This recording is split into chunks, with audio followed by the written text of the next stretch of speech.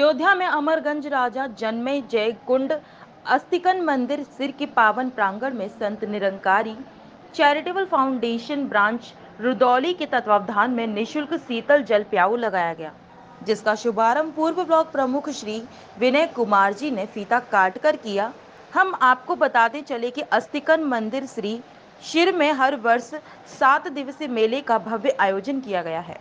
चिलचिलाती गर्मी को मद्देनजर देखते हुए संत निरंकारी चैरिटेबल फाउंडेशन अपना योगदान दे रहे हैं। प्रतिदिन हज़ारों की संख्या में श्रद्धालु अस्तिकन के दर्शन के लिए आते हैं। राजा जन्मे जय कुंड सरोवर में स्नान श्रद्धालु अस्तिकन के दर्शन तथा पूजन व मेले के आयोजनों में हिस्सा लेते हैं।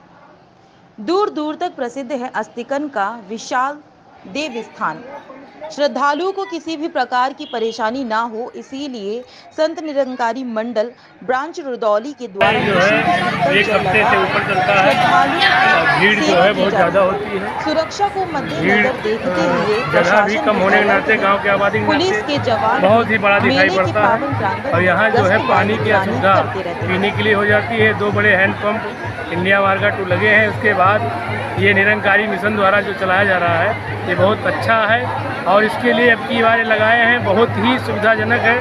सारे लोग, मेलार्थी जितने हैं, जितने श्रद्धालु हैं, वो सीधा पानी पीने के लिए, वो यहाँ पर तुरंत आ रहे हैं और पी के जा रहे हैं और खुशी खुशी पानी पी के वो यहाँ स्थान से जा रहे हैं। इनका कार्य सराहनीय है, मेहनत भी करते हैं। पूरी तरह से हम भी बहुत खुश हैं।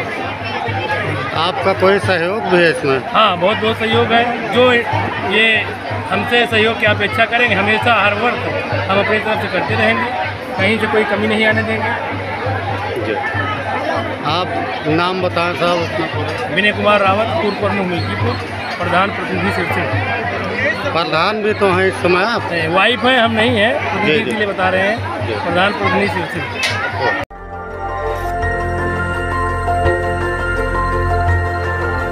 देखते रहिए डीवी भारती समाचार। नज़र हर खबर पर।